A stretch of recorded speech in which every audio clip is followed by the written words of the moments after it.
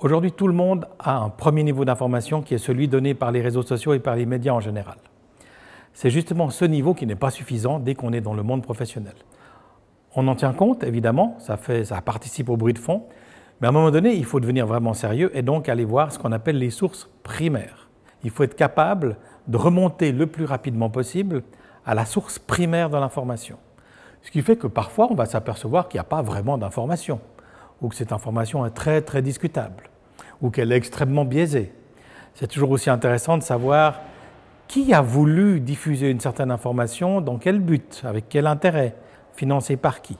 D'où l'importance toujours de remonter à la source primaire et de bien réaliser que toutes les sources d'information ne se valent pas. Il y a quand même une source d'information primaire qui est cruciale, c'est tout ce qui touche aux publications.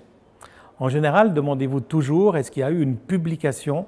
Et dans ce qui est publié, il faut vraiment être capable de bien distinguer ce qui relève de ce qu'on appelle les sources scientifiques primaires, avec des revues, parce que c'est en principe presque toujours des revues qui résultent d'un processus d'évaluation par différents experts. Et il faut bien faire attention de bien distinguer ces sources-là de toutes les sources qu'on peut appeler secondaires qui seront en général une reprise ou une vulgarisation, il y a toute une cascade, mais une fois que vous êtes dans le milieu professionnel, il faut vraiment toujours aller à la source primaire. Aujourd'hui, quel que soit votre poste, comme géographe, comme spécialiste de l'environnement, comme aménageur du territoire, comme euh, géologue, évidemment en sciences de la Terre, bref, ce qui est vraiment crucial, c'est la qualité des informations et cette capacité ensuite à lui donner un certain sens dans un contexte donné.